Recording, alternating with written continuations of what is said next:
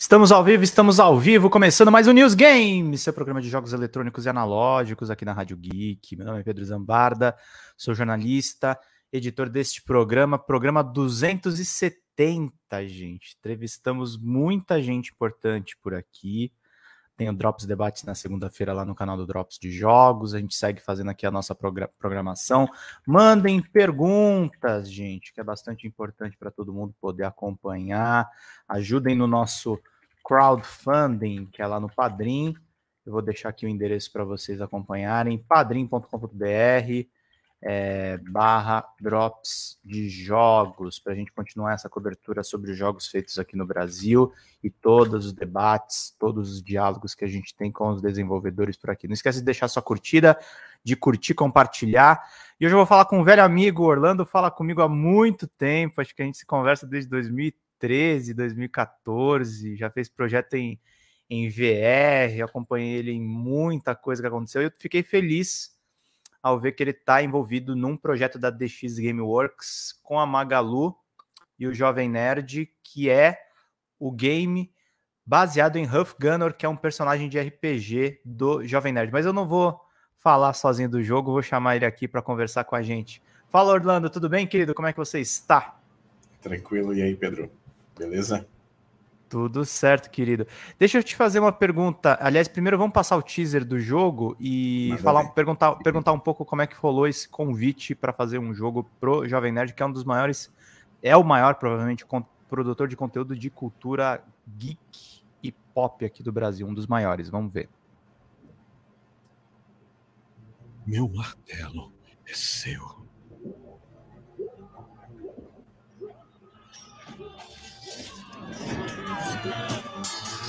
São Arnaldo!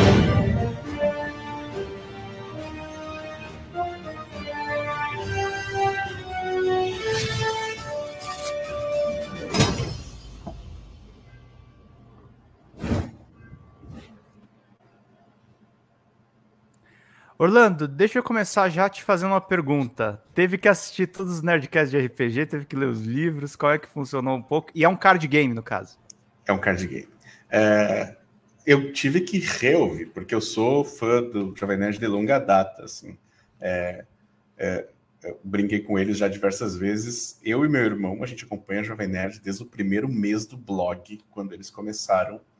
Jura? Gente, juro juro. É, é, é, a gente tinha provas. Meu irmão tem e-mail lido no Nerdcast 8. Eu, eu, eu, eu, fui um pouco mais tardio que vocês. Eu comecei no podcast mesmo. É, então, também sou fã dos caras, mas eu sou do podcast. Então, é, é, a gente acompanhava no blogzinho mesmo, porque era uma época, sei lá, 20, 20 anos atrás. A gente acompanhava alguns sites tipo de cinema e quadrinhos, coisas geeks mesmo. Uhum. E apareceu esse blog no nosso radar, assim, olhando Uh, isso foi em lista de e-mails, para ter uma ideia, né? Aquela coisa antiga mesmo, assim. E aí a gente, eu comecei a acompanhar eles desde lá no começo. Uh, então, assim, eu já tinha ouvido todos os, os Nerdcasts, uh, já tinha lido algumas das coisas dos livros deles e tal. Mas quando a gente, quando apareceu a oportunidade, obviamente que a gente teve uma imersão total no universo de Huff Gunner de novo, né?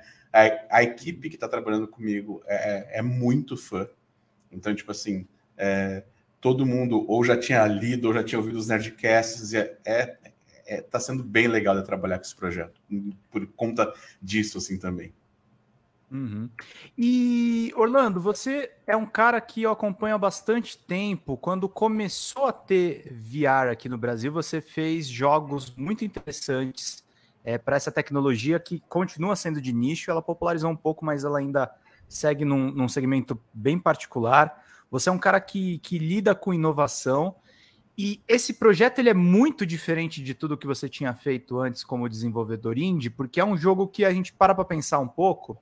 Eu vou, eu vou tirar um pouco de lado a sua paixão pelo Jovem Nerd, que também é minha, eu, eu ouço o podcast deles toda semana. Mas é um card game, é um jogo bem mais tradicional, baseado em um jogo tradicional é, de RPG, um pouco mais dentro de algo mais conservador da indústria. E ao mesmo tempo você está junto de empresas. A DX Gameworks é uma, é uma, é uma empresa de games nacional que, era, que é do Daniel Monacero, que era da Garage, que tem é, um, um, investidor e tá, teve um espaço muito interessante no Big Festival. É, você tem a Magalu Games que está entrando também investindo nesse mercado que é muito interessante, uma, uma grande varejista do setor, que é uma das proprietárias da marca Jovem Nerd hoje em dia.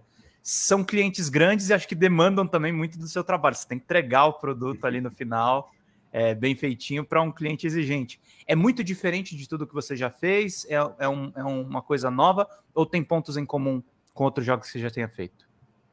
Não, tem bastante coisa em comum. Uh, ao longo da minha carreira, a gente, uh, no, no, meu tempo de, uh, com Imagination, a gente trabalhou muito com VR durante muito tempo mesmo. A gente foi a primeira empresa, a Imagination no caso, né, a uhum. lançar uhum. conteúdo, conteúdo comercial de VR na América Latina. A gente foi bem Pela no começo Samsung. mesmo, é, com a Samsung, exatamente. Então, assim, tem todo esse histórico. Mas mesmo antes disso, já, a gente já. Sabem é... por que eu sei disso? Porque eu fui o primeiro jornalista a entrevistar o Orlando sobre esse case. Mas, então, assim, é, é, a gente já vinha trabalhando com, com jogos há muito tempo. Então, uh, eu, eu, eu, eu, sou formado em game design desde 2010, mas formado em industrial desde 2007. Comecei a empresa lá em 2007. Então, eu trabalhei em muito tipo de projeto, uh, com clientes pequenos, médios e grandes.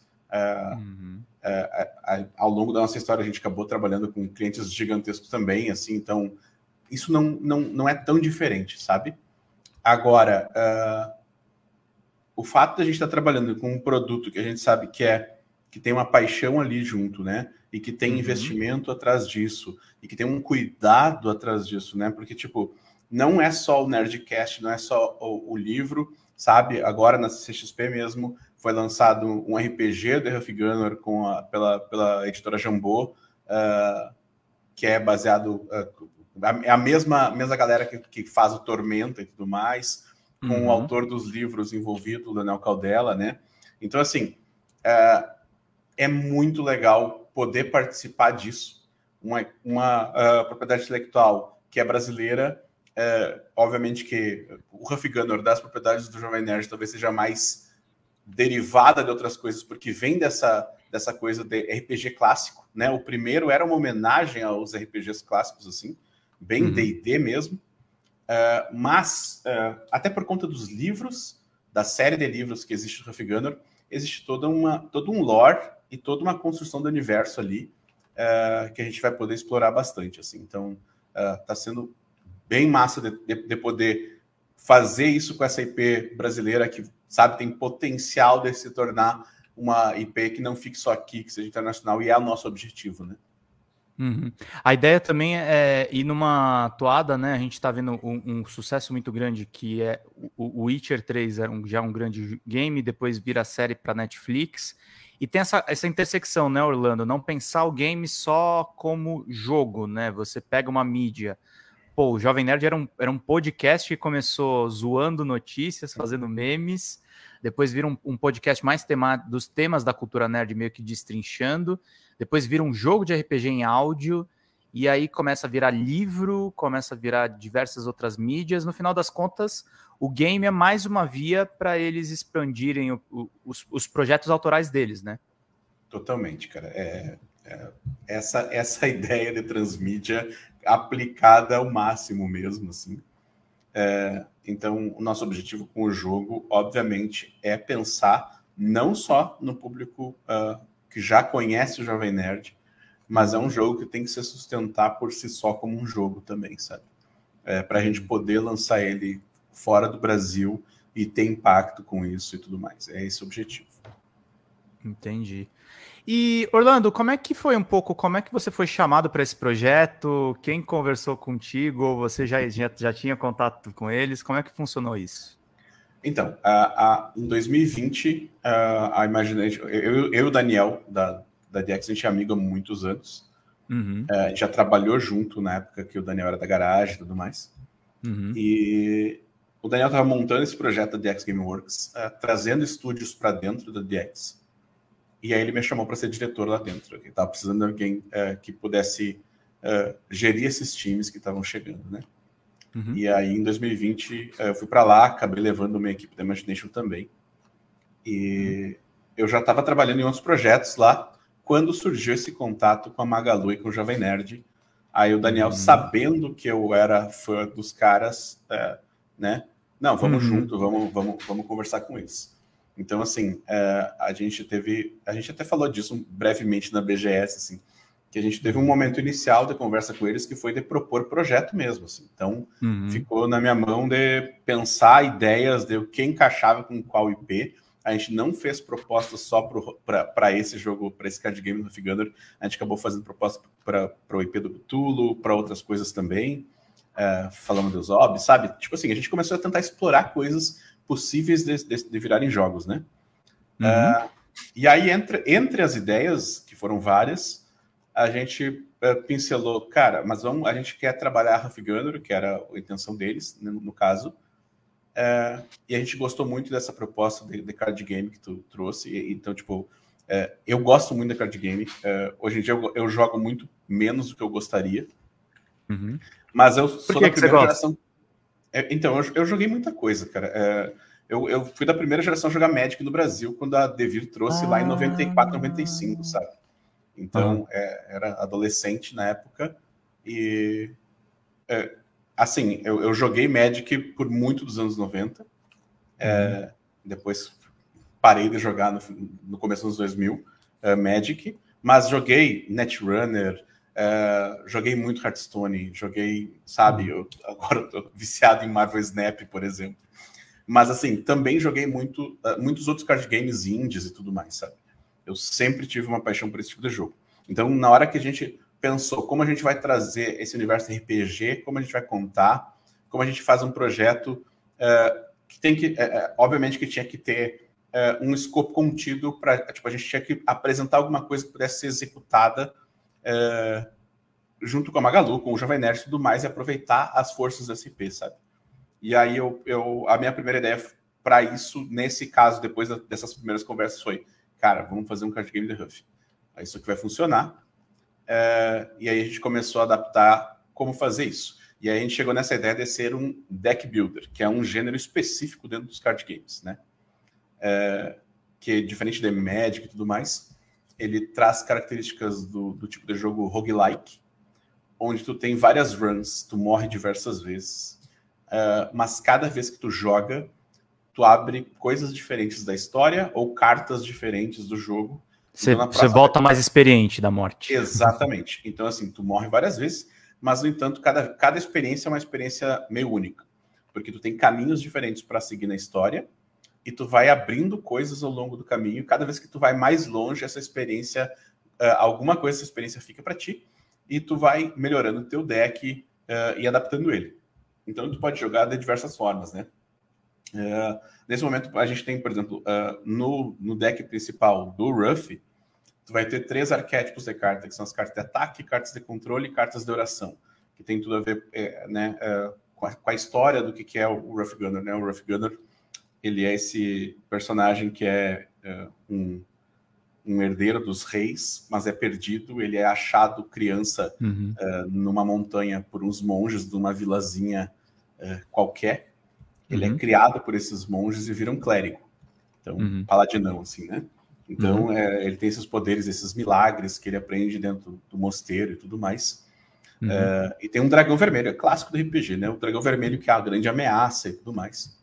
Uh, Ah, uma coisa importante, a gente, a gente decidiu também nessas. Ne, o que fazer? A gente tinha três livros do Rough Gunner já, uh, já foi anunciado que vai ter um quarto livro na série, mas a gente estava uhum. na dúvida inicialmente sobre como, como uh, adaptar isso. A gente decidiu, não, a gente vai fazer esse card game, vai ser baseado no primeiro livro. Então, assim, nesse Fechou o escopo. Tá, exatamente. O que a gente está fazendo é adaptar o primeiro livro do Rough Gunner. Né? Uhum. Uh, e assim, uh, os Nerdcast RPG que se passam nesse universo de Gunner, eles acontecem cento e poucos anos depois dessa história do, do, do próprio personagem do, do Ruff, né? Então, uhum. o que a gente está fazendo é muito mais adaptar os livros. É, porque o tom do livro também é diferente, né? O Nerdcast, ele é zoadaço. Ele foi o Sim. primeiro Nerdcast RPG. Ele tem um clima totalmente de piada e de zoar o, o, os arquétipos e os, os, clichês mesmo, nem os arquétipos, os clichês. Vocês verem como eu sou fã do Nerdcast. O primeiro Nerdcast RPG era uma zoação com o ato de narrar um Nerdcast. Quem conta essa história é o próprio Dave e uhum. o, o, Alexandre. E só que, a, só que a, a, narração ficou tão boa que eles transformaram num jogo mesmo, né? Exatamente. Aí, Exatamente. Então, assim, é, eles, eles tinham esse aspecto de vamos zoar com essa coisa dos clichês de RPG. Então começa numa taverna, tem um dragão vermelho e tem uma donzela, e nos, eles zoam com todas essas coisas. Então, assim, obviamente que a gente vai pincelar coisas desse universo que eles criaram no Nerdcast também, para trazer para o jogo, mas é muito mais baseado no livro, que tem um tom muito mais sério, é, que tem uma história mais estruturada uh, como narrativa mesmo, né? Uhum. É, mas, assim, a estátua de São Arnaldo que cospe a rosa, ela tá lá, uh, né? Coisas, coisas que são desse lore, desse universo, vão estar lá, obviamente, né? Que vem dessa coisa da, da, cultura da internet, do, do meme, da zoação e da, do improviso também um pouco, né? Eles vão lá e, e, e vão improvisando e fazendo esse tipo de, de coisa. Uma coisa que eu ia perguntar para você, Orlando, é me parece bem claro como é que foi o seu diálogo um pouco com eles, que são os criadores do produto. Mas o Jovem Nerd foi adquirido, a maior parte da empresa hoje pertence à Magalu. A Magalu está sendo um player, eu estava conversando com algumas pessoas no Big, interessante, estava fazendo alguns concursos para os indies com, com premiações generosas, está querendo se inserir no mercado, está tentando entender também as demandas é, dos desenvolvedores. Te pergunto, qual que foi a participação da Magalu, é, como ela ajuda o, o projeto e eles também deram algumas ideias. Como é que funciona um pouco isso? Queria entender da parte deles também. A gente tem. Uh, no, o nosso contato é, é DX, Magalu e Jovem Nerd. Então sempre tem. Uh, três. Né? É, exatamente. São, são, os, são os três ali na tomada de decisões principais sobre o projeto e tudo mais. Mas as decisões criativas, elas são muito mais entre a DX e o Jovem Nerd, que são.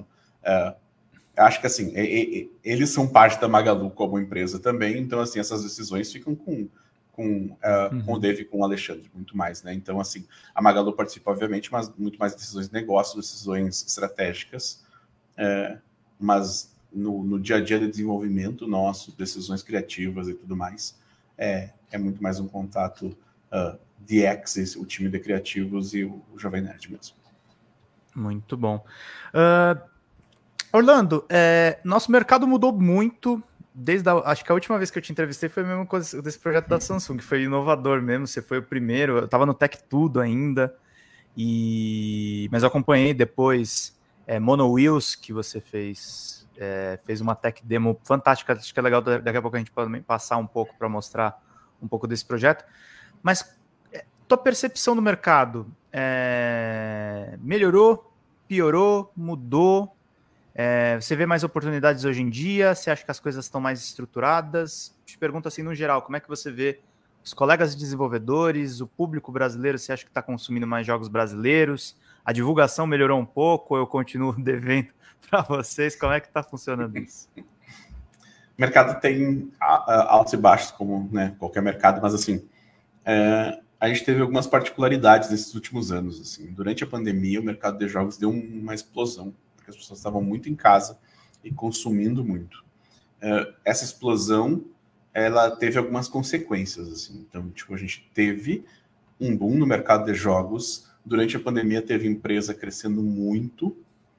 Uh, e às vezes esse, crescimento não era sustentável, assim, uh, muitas vezes. Então, a gente está vendo o layoff virar uma coisa extremamente comum nos últimos seis meses uh, em diversas empresas, não só dos games, mas da tecnologia. Uh, então, assim, a gente tem consequências disso. O mercado, agora, eu diria que ele está numa, num numa ressaca do que foi o, o, a alta da pandemia, né? Subiu na especulação e caiu no fato, né? Mais ou menos isso. E aí, uh, mas fora esse fato, que é que isso está acontecendo, né? O mercado uhum. não está desacelerando nem nada, mas ele está é, o que está acontecendo é tipo teve um crescimento gigantesco de certas empresas, contratações inúmeras e teve muita. O que aconteceu também foi que muita gente que trabalhava nas empresas do Brasil começou a trabalhar para fora do Brasil, porque estava, uh, como todo mundo estava remoto, é, houve também um pouco essa mudança, né? De pessoas passando a trabalhar remoto, mas para fora do Brasil e ganhando em moeda de fora do Brasil. Uhum. É, e houve também no Brasil uma consolidação um pouco dessas empresas. A DX é um exemplo claríssimo disso, é, onde é, vários estúdios eles foram ou adquiridos ou incorporados, é, como é o caso da Imagination. Imagination ainda existe como Imagination, uh, mas ela, mas assim, eu e minha equipe a gente foi para para DX e tudo mais. Uh, assim como outros estúdios aconteceram. Então, esses pequenos estúdios de 5, 10 pessoas uhum. uh, acabaram, muitos deles, não, isso não, obviamente não, não todos, mas muitos deles acabaram ou se desfazendo, ou sendo adquiridos, ou, ou as pessoas começando a trabalhar para fora, ou, ou indo para outros estúdios maiores, né? Então, uhum. isso também tem acontecido nesses últimos dois anos. Uh, esse, é eu, eu, diria que esse é o ponto atual do nosso mercado. Assim. Uh, é essa consolidação e agora esse, essa ressaca. Assim. É, é uma ressaca, mas de uma certa forma. É, é não estou querendo ser otimista, perda de emprego nunca é uma boa notícia, mas de uma certa forma, pelo menos está é, tá se ajustando, né? Eu acho que dá, dá, dá, ainda dá para pensar num futuro otimista, porque vai ser demandado ainda muitos serviços é, de tecnologia. Resta ver se o país vai ser mais receptivo para o nosso trabalho, né, Orlando? A, a, taxação ainda é muito alta, precisa reduzir imposto e precisa também existir um ambiente que existam investimentos no cenário, né? Tanto em eventos quanto em outras, outras vertentes. E aí eu te perguntar, é, o, o, o Mono Wheels, eu vou pegar aqui o trailer dele e mostrar um pouco. Como é que ficou esse projeto? Ficou na Mono Wheels é um dos projetos. Então, é, o Mono Wheels, é, ele tem uma história é, conturbada. Esse, esse inclusive, é o primeiro trailer dele, primeira coisa que a gente fez. Quer, quer, quer, quer, quer, que eu, quer que eu bote mais recente?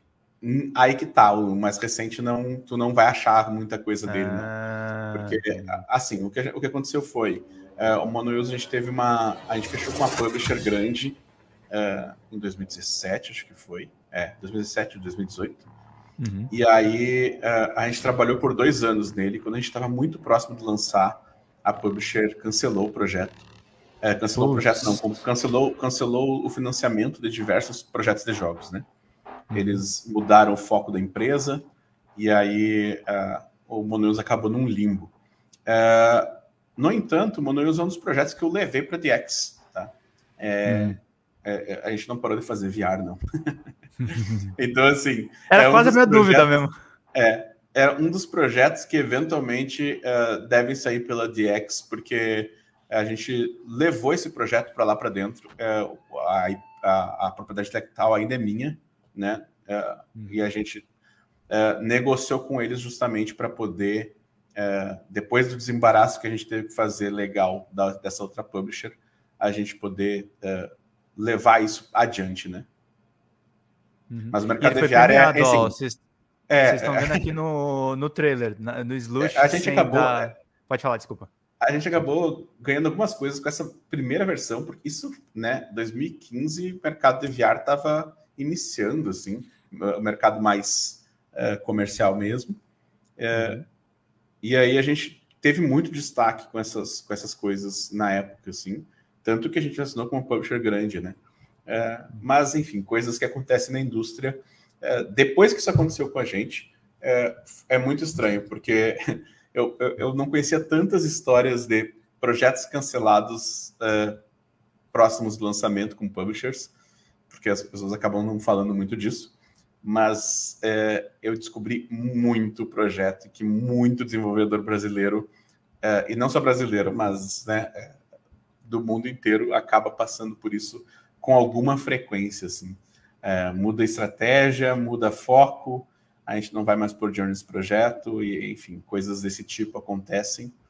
Mas assim, o Monoeus, ele tem uma, uma possibilidade dele ainda ver a luz do dia em algum momento, repaginado provavelmente, uh, num futuro breve.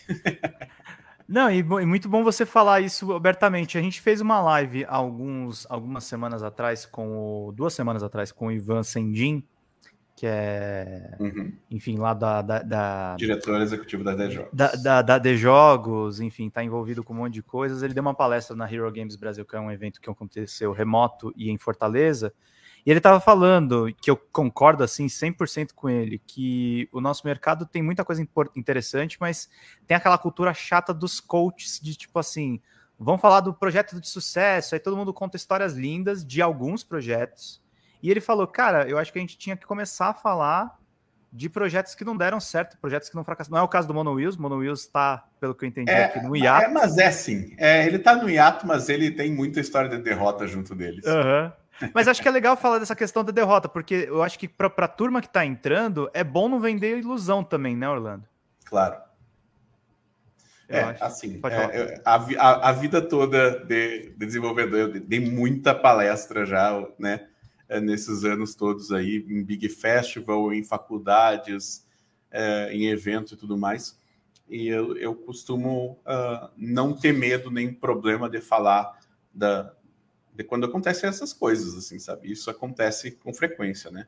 É, e, a- e por isso que eu apontei, assim, porque no ano em que aconteceu na, na, na GDC de 2019, que foi um pouquinho depois da gente ter cancelado o da, da publisher ter cancelado o projeto. É, eu estava muito abalado, porque ela aconteceu tipo no mesmo mês, assim, a GDC, eu estava lá em São Francisco com muito desenvolvedor amigo do, do mundo inteiro, comecei a contar essa história de que tinha sido cancelado e comecei a ouvir de gente do mundo inteiro, da Argentina, da Colômbia, da galera da Europa, galera da Malásia, que eu fiquei amigo, galera da Ásia, é, sabe? É, Acontece. to- muitas, muitas histórias é tipo, cara, faltava seis meses, a publisher cancelou. Ou, ah, a gente perdeu o investidor faltando três, a gente teve que parar o projeto. Ou, ah, o publisher ficou com IP no final do projeto e a gente está Nossa. tá engavetado. Então, sabe? Muitas histórias desse, desse tipo. Assim. Então, no fim das contas, pelo menos a IP é nossa, o jogo é nosso, é, a gente ainda tem talvez alguma forma de lançar ele num futuro próximo, é, mas é, é- essa até hoje a história é altos e baixos com vários baixos. Não, e é bom falar abertamente sobre isso, até para, tipo, se o pessoal realmente quer ter menos é, problemas, tem que aprender com os problemas dos outros. Um ensina o outro, e é assim que a coisa evolui. O Cal Tóquio tá aqui nos comentários, ele mandou uma pergunta aqui para você, é, levando em consideração o Rough Gunner. Você recomenda para um desenvolvedor indie começar por card games? Não. Por que é não? complexo. card game é assim. é, Mesmo um card game, um card game mais simples, um deck builder, tu ainda vai ter ah, centenas de interações entre essas cartas. É um trabalho bem árduo de balanceamento, em especial. Uhum. É, obviamente que a gente tem histórias de sucesso de times pequenos que fazem card games, então não, não, é, não que não exista a possibilidade, né? Talvez o maior seja o Slade Spire, que é um dos maiores, é, é, é- é com certeza um dos um das nossas maiores influências e também é, um dos maiores casos de sucesso de um early access no Steam. É, e o Slade Spire, ele é dois caras, assim. Então, tem como até, mas eu não recomendo, porque é um, é uma, é, é, é um, é um gênero de jogo bem pesado do ponto de vista de game design, sabe? Balanceamento eh, e tudo mais. Então, eh, não, não, eu não acho que seja o ponto de partida inicial para quem está começando. Como é que, que tipo de jogo você recomendaria para quem está começando? Jogo pequeno que possa ser terminado. Porque, assim, é, o maior problema dos pequenos desenvolvedores que começam é não terminar nada. E, isso, e assim, eu tava contando agora a história de um jogo que ganhou o prêmio em 2015 ali, não foi lançado até hoje. Então, assim, a gente tem muito exemplo desse tipo de coisa. É, é horrível isso para a indústria. Ainda bem que nesse meio tempo a gente lançou bastante coisa com cliente e com outros trabalhos aí, para não ficar só nesse jogo que não sai nunca. Mas o ideal, é, uma das. a- talvez a principal skill que a gente precisa ter como desenvolvedor de jogo é aprender a terminar e lançar jogo. O seu, prim- o seu projeto pioneiro com o- a Samsung foi o Dodge This, né? É isso. Uhum. E a gente tem o trailer dele aqui, porque eu revirei tua carreira agora nesse momento. Pegando aqui os trailers dele, mas. Dodge Dias, eu, eu, lembro, inclusive, como a gente conversou. Você tava com o aparelho na mão numa BGS e falou: vem cá, que eu quero te mostrar um negócio. E não é, tinha. Então, ainda, essa, né? é, esse trailer aí, inclusive, é da versão anterior. A gente lançou com a Xilingo esse jogo em 2013, é, uhum. é para mobile. E aí uhum. a Samsung estava atrás de projetos que poderiam ser é, levados para VR e eles viram potencial nesse joguinho. Uh, e aí a gente foi um dos primeiros, uh, na verdade a gente foi a terceira empresa convidada pela Samsung no mundo a fazer isso.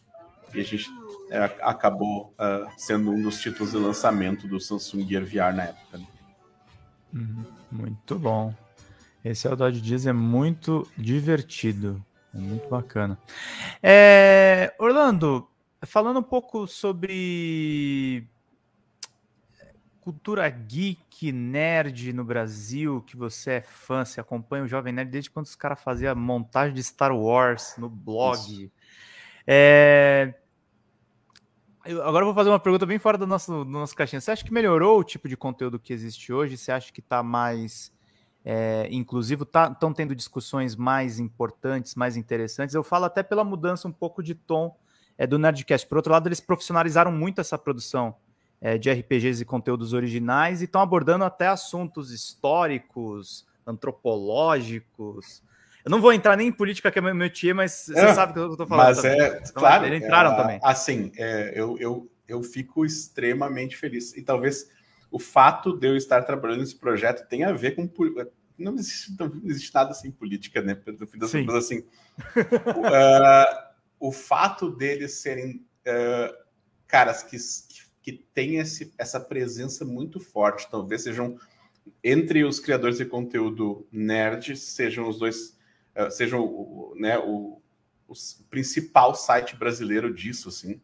Uhum. E o fato deles não só serem posicionados, como não terem medo de falar das coisas que são importantes, isso me, uhum. me atrai ainda mais para continuar sendo fã deles. Assim, certamente foi uh, ao longo do. Obviamente, se a gente começa a escutar coisas para trás, e eu tenho certeza que se eu for olhar post meu de 2000. Eu critiquei eles publicamente, eu tenho certeza que eles leram meu texto. Quando teve aquele episódio de, de machismo há um tempo atrás, acho que era do Pink Vader, alguma coisa assim, e eu cobri. Isso foi Nem, parar na Wikipedia. Não, é, acho que ninguém lembra mais. Ideia, mas, mas assim, tá lá. Mas, mas assim, mas o, o que eu acho legal é entenderam, entendeu? E acho que eles mudaram radicalmente depois de vários episódios. Mas eu acho que a gente também, mudam. né, Pedro? Eu tenho certeza que eu falei Sim. bobagem já na internet Sim. algumas centenas de vezes aí. Eu, gente, eu continuo né? falando, às vezes eu falo, mas escapa uma merda. Exato, mas o fato de a, a, gente conseguir ver crescimento nisso e conteúdo acompanhar isso.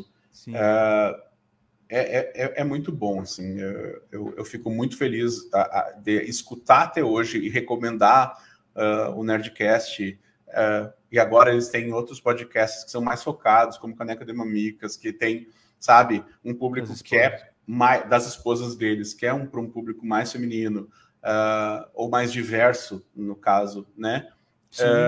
e não, mas não só isso, né? As pessoas trabalhando no site e, e, nas notícias e em, em todas as áreas também são pessoas diversas e conteúdo é diverso é, acho que isso é fundamental, assim.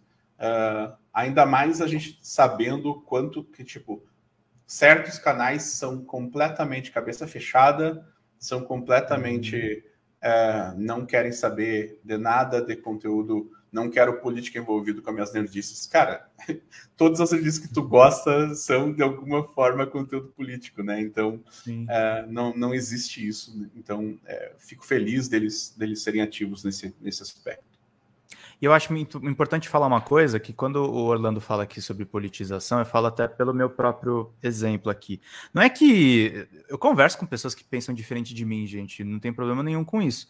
A questão é, é, é que quando você não politiza os assuntos, você começa a desinformar um pouco o seu público. O seu público nunca tem contato com aquele tipo de conteúdo e ele vai se informar mal, né, Orlando? É muito melhor quando você puxa o debate é, para o seu próprio círculo e aí você vai pesquisar o tema e você não vai falar besteira a respeito disso. Você vai aprender alguma coisa é, nesse tipo de produção de conteúdo.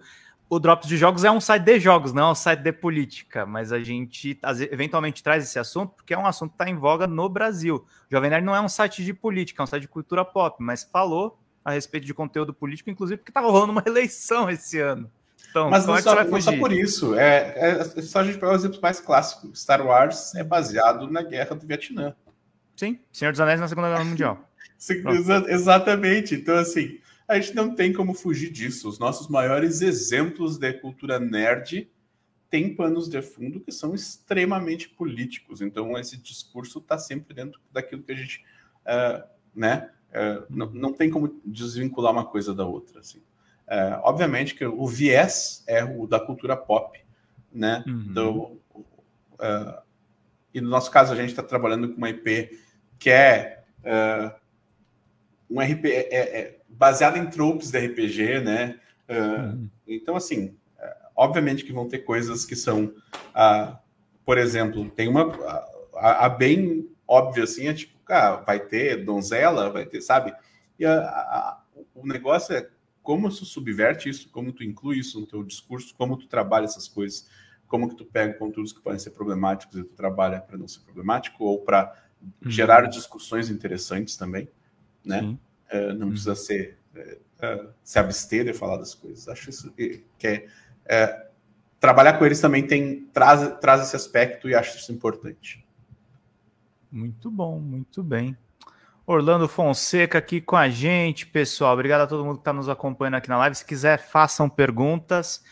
É, uma coisa que eu que eu queria saber mais cotidiana. O que, que você anda jogando, Orlando? O que, que te chama atenção na indústria hoje em dia? Pode falar do Brasil, do exterior. O que, que você gostou de jogar esse ano? Cara, esse ano é, eu jogo assim.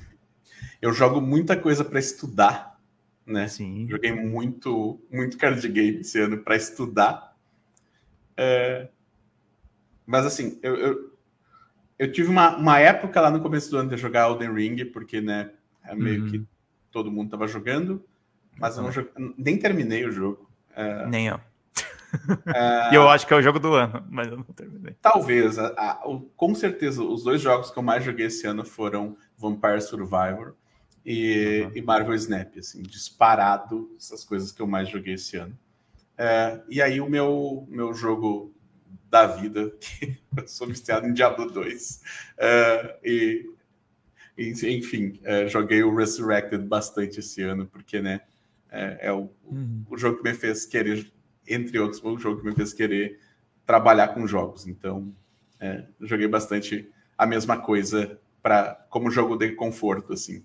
Mas nesse agora, no último mês e meio, eu só joguei Marvel Snap praticamente.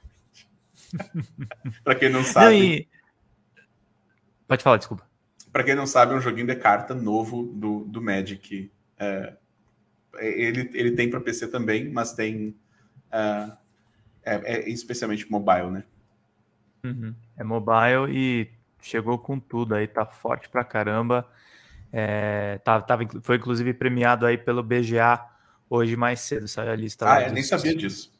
Foi, ó, deixa eu ver aqui só, se eu não tô sendo muito louco aqui, mas eu, se eu não me engano, acho que era isso. Tava na, na, na lista, deixa eu ver aqui só um minutinho. Só pra não falar, falar besteira. Se ele não venceu, ele tava na lista de indicados, mas o Marvel Snap aqui, deixa eu ver aqui, a lista já está abrindo. Não estava preparado para essa fala e minha internet resolveu ficar um pouco lenta agora. Mas ó, Marvel Snap ganhou como melhor jogo mobile, Second Dinner da Newverse, como uhum. publisher também. Então ele está lá bem colocado. É... O que, que você recomendaria, é, Orlando? Falei o tipo de jogo, um jogo que o cara possa terminar. O que, que você recomendaria para um cara que quer começar a desenvolver games? Faz uma faculdade, pega um cursos online para se aprimorar? O que, que você daria de primeiros passos para um cara entrar nesse mercado? O negócio é assim, acho, acho legal a faculdade. Estava um pouquinho antes de entrar aqui. É, numa discussão com os amigos que né, não vão receber bolsas essa semana das suas iniciações científicas, Sim. seus doutorados, seus mestrados. Terrível. Então, assim, dizer, dizer para as pessoas fazerem faculdade nesse momento é, é terrível. Eu espero que isso melhore e a gente possa voltar a ter uh, não só bons cursos no Brasil, como valorização dos cursos no Brasil e da ciência no Brasil e tudo mais. Mas acho, acho, acho que, assim, a faculdade de jogos em especial ou as faculdades que são uh, afins, como né, ciência da computação, desenho industrial e design, e, enfim, essas faculdades que as, que as pessoas acabam caindo no, no, universo do mercado de jogos, uh, elas são importantes especialmente para tu achar pessoas que têm o mesmo interesse que tu. Uh, e, e, começar a, a, a, produzir coisas, porque assim, fazer coisas é, é, é possível fazer jogo sozinho? É, mas é quase impossível e é muito pior, talvez, eu acho. É, um jogo é um negócio para fazer é, em, em, times mesmo. É, existe, porque tem muitas disciplinas envolvidas com fazer jogos, né? Então, achar os, as pessoas próximas que gostam e têm os meus interesses e querem fazer projetos, acho que é importante a faculdade tem um papel uh, fundamental nesse aspecto. Uh, e além disso, uh, né, eventos, game jams e e tudo mais, é onde tu também vai encontrar pessoas que estão fazendo a mesma coisa que tu. Uhum. Novamente, fazer coisa sozinho é quase impossível. Então, acha as pessoas que estão fazendo jogos, querem fazer jogos também. Essa seria a minha principal dica. Depois disso, tentar fazer coisas pequenas, não pensar muito no tipo. Se tu tem a possibilidade de fazer isso, obviamente, no começo, não pensa muito na parte comercial da coisa no início, mas em executar e aprender como faz o que porque tu vai errar muito até começar a ficar bom na coisa. Então é, é, é, bom começar a errar logo, assim. Então é, comecem com projetos pequenos, com projetinhos de jam e tudo mais, para fazer do começo ao fim, terminar coisas que são pequenininhas mesmo, coisas que podem querer dizer alguma coisa muito mais pessoal, porque tu está nesse momento que tu ainda pode fazer isso se tu está iniciando aproveita para fazer isso no começo. Uh, e depois, obviamente, tu vai tentar entrar na indústria, tentar ir para empresas maiores e tudo mais. Tu vai te envolver com as coisas mais técnicas do dia a dia, aprender, e aí tu vai ver com, com quantas áreas é, é, existem trabalhando no mercado de jogos e tudo mais. Então, aproveitem esse início para fazer coisas pequenas e termináveis. Orlando dando uma aula aqui e falando também sobre o problema que está rolando nas universidades hoje, que é a falta de financiamento para pesquisa e para especialização dos profissionais. Orlando, muito obrigado pela tua presença. Teve alguma coisa que eu não perguntei ou que a turma não perguntou que você queria acrescentar? Não sei, cara. Acho que, acho que eu falei é, o, sobre o jogo mais ou menos o que eu posso falar ainda. Uhum. A gente, né? É, Co não, coça a mão para falar mais coisa? Não divulgamos data, isso é, é, algo importante, a gente falou disso na BGS. É, Contra o crunch tem, time, né? É, nem é tanto por isso, assim, a gente tem até ideias de, de quando a gente pretende lançar, mas uh, muitas coisas acontecem pelo caminho, uh, mas a gente quer começar a mostrar esse jogo para o público tão logo seja possível, uh, porque a gente sabe o quão importante é o público do Jovem Nerd para esse tipo de produto. Uh, a gente quer se aproximar desse público o quanto antes. Então, uh, a ideia é que assim que possível a gente já comece a mostrar coisas para o público, demo, uh, beta, o que for. A gente ainda está pensando nas estratégias corretas para fazer isso, obviamente. mas a, é, a nossa ansiedade está aí de querer mostrar isso quanto antes mesmo. Mas tem muita coisa para fazer ainda. Tem muita carta para a gente desenhar e, e, e balancear ainda. É difícil pra caramba, gente. É construir um prédio, é, é, construir um prédio com carrinho, com rodinhas embaixo. Esse é o desenvolvimento de games em comparação com outras mídias. Orlando, muito obrigado, querido. Adorei matar saudades de você. Fazia muito tempo que a gente não conversava durante 40 minutos assim, querido. Um abração, viu? Até mais. Valeu, Até mais. Tchau, tchau. Tivemos o Orlando Fonseca Júnior aqui conosco, gente. A gente vai continuar mais um pouquinho aqui na live. Obrigado pelas curtidas, pelo carinho de vocês aqui que estão conosco. Eu vou dar um giro de notícias rapidinho, que a Monique Alves aqui separou algumas notícias para gente. Vamos falar dos vencedores do Brasil Game Awards, que eu falei agora há pouco para vocês. É, vamos falar aqui a respeito de outras questões também, a respeito de um boato que saiu publicado por um jornal e vamos falar também de The Last of Us e de Gran Turismo 7. Vão curtindo, vão compartilhando, vão curtindo, vão compartilhando, vão curtindo, vão compartilhando, gente, que é muito necessário. Vamos começar por essa notícia muito importante aqui. Conheço os ganhadores do Brasil Game Awards. O Drops de Jogos participou do júri de sites que escolheram os melhores jogos do Brasil é, internacionais e nacionais. Elden Ring é eleito o jogo do ano e leva mais duas categorias. Fobia, Sandifna Hotel fica com o prêmio de jogo brasileiro do ano. Vamos então para a notícia aqui. Elden Ring, desenvolvido pelas From Software e publicado pela Bandai Namco Entertainment, foi eleito o jogo do ano de 2022 pelo Brasil Game Awards. Júri independente que reúne mais de 100 veículos, produtores de conteúdo e críticos de videogame. Além disso, o jogo levou outros dois troféus é, de melhor jogo original e melhor RPG. Outros de destaques incluem o Phobia de Sandifna Hotel, desenvolvido pela Pulsatrix e publicado pela Maximum Games. God of War Ragnarok, desenvolvido pela Santa Monica Studios e publicado pela Sony Interactive Entertainment, que venceu em três categorias: melhor jogo de ação e aventura, melhor trilha sonora e melhor dublagem para o português. Aí tem a lista aqui de vencedores. O jogo mais aguardado para 2023 é The Legend of Zelda Tears of Kingdom, que é o sucessor do Breath of the Wild. Melhor jogo original Elden Ring, melhor periférico Steam Deck, melhor jogo de tiro Call of Duty Modern Warfare 2, melhor jogo de ação e aventura God of War, melhor jogo de luta Multiversus, melhor RPG Elden Ring, melhor jogo de corrida Gran Turismo 7, melhor jogo de esporte EA Sports FIFA 23, melhor jogo de estratégia Mario Rabbids Sparks of Hope, Uh, melhor jogo para família Lego Star Wars A Saga Skywalker. Melhor jogo mobile Marvel Snap, que o Orlando estava falando agora há pouco que tá jogando. Melhor multiplayer Teenage Mutant Ninja Turtles Shredder Revenge, que eu gostei de jogar da Tribute Games com a Dotemo. Melhor trilha sonora God of War Ragnarok. Melhor estúdio Santa Mônica Studio.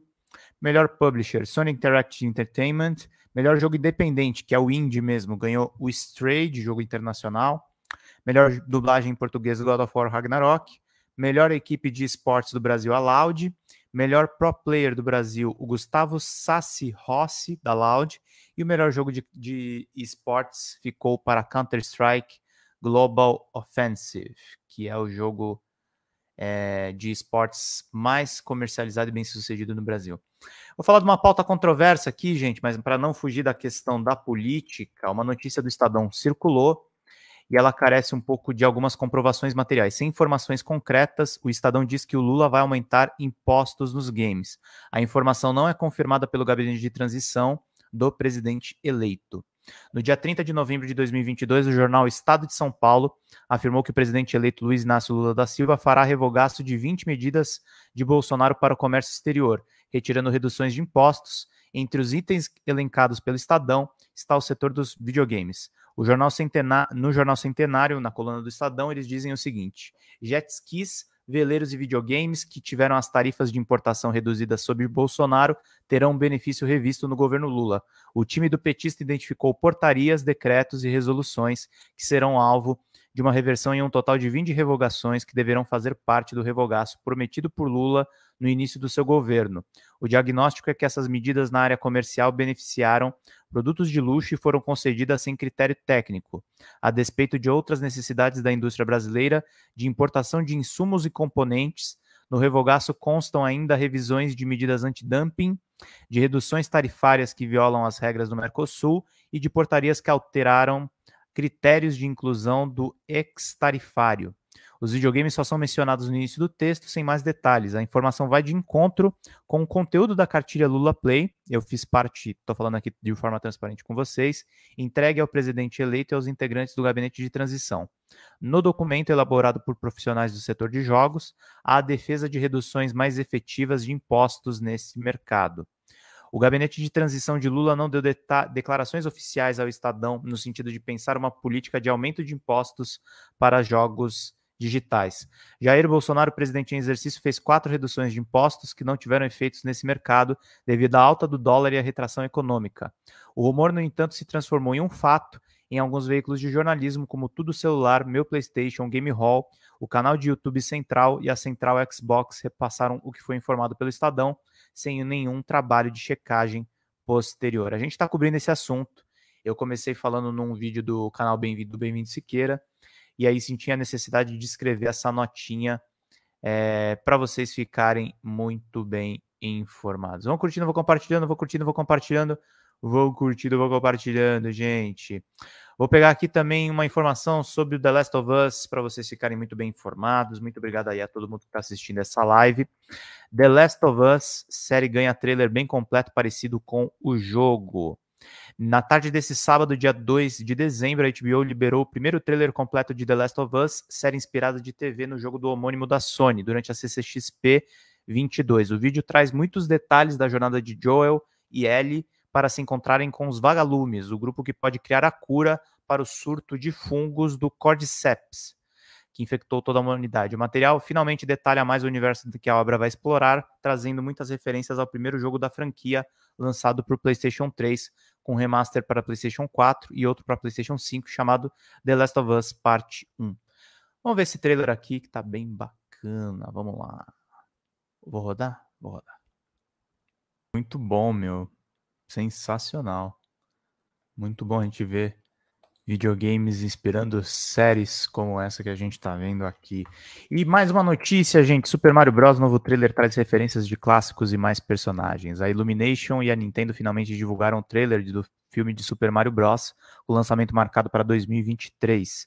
No novo trailer é possível ver mais personagens clássicos da franquia do encanador mais famoso do mundo e adjacências, com direito à primeira aparição de Donkey Kong e alguns novos detalhes da trama. Vamos ver juntos também. Que acho legal. Bom, abril do ano que vem, gente, para todo mundo ficar esperto.